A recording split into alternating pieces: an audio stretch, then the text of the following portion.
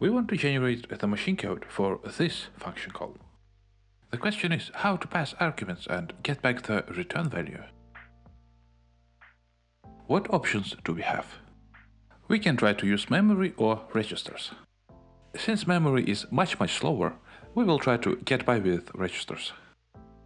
The most straightforward way would be to have the agreement each function should expect its arguments to be in the registers. So, if we want to call this function, we should put arguments to registers R0 and R1 and do the branch instruction. And again, the machine code of the function foo expects us to do that. This kind of agreement is called a calling convention. For ARM processors, we can find its comprehensive description on the ARM website. And it specifies that the first two arguments should be in R0 and R1 registers, just like we have discussed. Now we know how to pass arguments and the foo function just adds values from R0 and R1. But how to return the result back to the main function? Let's ask the calling convention again. We should use R0 for that. Now the foo function moves the addition result to R0 and jumps back to the main function with bxlr. Yes, the idea of using registers for arguments and results is quite straightforward, but the calling convention brings something important to the table. It helps all the compilers to generate compatible machine code. If two libraries are built with different compilers, the first library can still call the functions from the second one, because both of them follow the same rules to handle arguments. Let's revisit the calling convention. The first four registers are used to pass arguments to the function. But what if the function has more arguments or big ones? The convention says that we need to use the stack for that. Quick reminder. Stack is a classic last in first out data structure. The CPU has two special instructions to work with stack push and pop.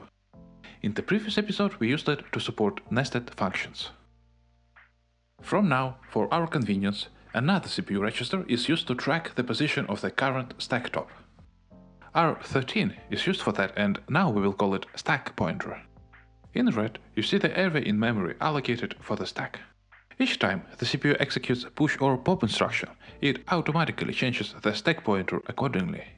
But the usefulness of keeping the stack pointer into the register is that we can access or rewrite anything in the stack with regular memory operations load and store. Or we can manually shift the stack pointer. So again, why do we even need it this time? The problem is the same. Consider this function, and it declares the array of 20 elements. We don't have enough registers to handle this. So we need someplace in memory to keep this array. Not a big deal. We can pick some memory area and say that each time function foo is called, it can use this place in memory to keep 20 elements of the array. The problem is again nested calls. Foo can call another function and that another function can call foo again. With all the C++ virtual functions and similar features of other languages, we cannot predict it at the compile time. Since there is only one place in memory for the foo function to keep the array, the second foo function will use the same piece of memory and will overwrite all the data there. And when we return back to the first foo function, it will find its array completely corrupted. To our pleasure, stack is a very simple way to get over this problem. Each time a function is called, it reserves all the necessary area in the stack by simply moving the stack pointer. If a nested call happens, the new foo function will reserve its own area in the stack by doing the same. Before returning, each function restores the stack pointer. We don't need to clean up the used area in the stack. We can clean it up, but we don't want to waste CPU cycles for that. Next time some function uses this area, it will anyway put its own data there. Only moving back the stack pointer is enough. So, when we get back to the first foo function, the stack pointer is restored to the correct value, and the foo function can access its own reserved area. What does the machine code of the foo function look like? The average function looks like this. At the very beginning, one of the first instructions allocates stack area by moving the stack pointer with subtract instruction. And in the end, right before the return instruction, the function restores the stack pointer back by adding the same shift. Now back to function arguments. If we have too many of them, we have to use the stack to pass them forward. We have two options. Option 1 is to reserve a bit more area in the caller function and put arguments there. Option 2 is to put all the arguments beyond the current stack pointer, so that they live in the callee stack frame. Technically, they both could work, but some platforms like Linux can use the area beyond the stack pointer to handle POSIX signals, so we can't use option 2.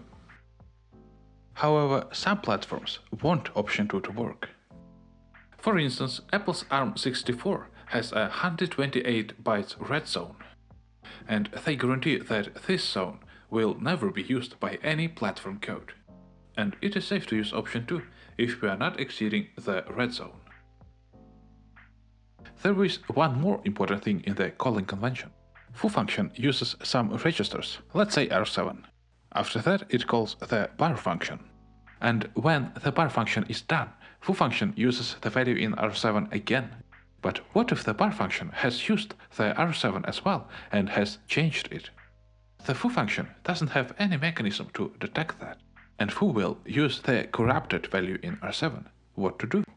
Calling convention has the answer. If the bar function uses R7, it is the bar's responsibility to save the old value of R7 to the stack and restore it before returning. Hmm, you can say that this situation is very close to what we had in the previous episode with the link register, and you are right, it is exactly the same. Let's fix this problem in our machine code. We know that the bar function will use R7, so we should preserve its old value with push instruction and restore it back right before returning.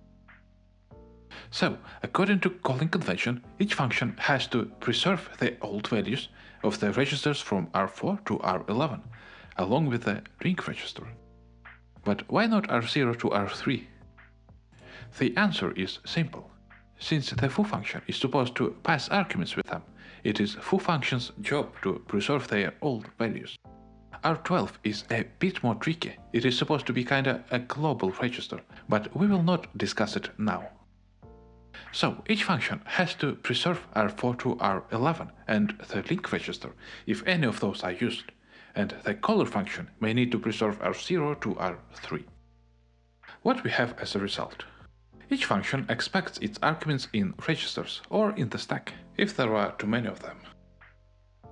If there are too many local variables, the function can use the memory area in the stack to keep them, and this area is usually reserved by moving the stack pointer with subtract and add instructions. Each function has to preserve R4 to R11 and the link register into the stack and restore the old value before returning. Preserving of R0 to R3 is up to the caller function.